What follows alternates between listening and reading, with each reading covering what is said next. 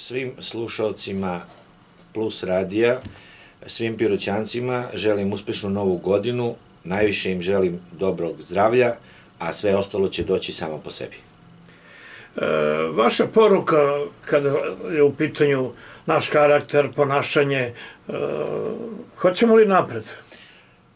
Pa ja mislim da sigurno hoćemo i da gledamo da se prema drugima ponašamo onako kako bi volili da se ljudi ponašaju prema nama. I ja sam ubeđen da moramo da gledamo napred, da imamo optimizma, jer to je jedini način da idemo napred. Vaša generalna poruka Pirotu i Piroćancima? Pa budite srećni i zadovoljni što živite u ovakvom gradu i nadajte se da će Pirot da nastavi i dalje u ovakvom ritmu ili tempu, kako bi se sportski izrazili. Srećna nova godina. Hvala e, vama takođe. Srećna nova godina svima još jednom. Puno zdravlja i sreće u novoj godini.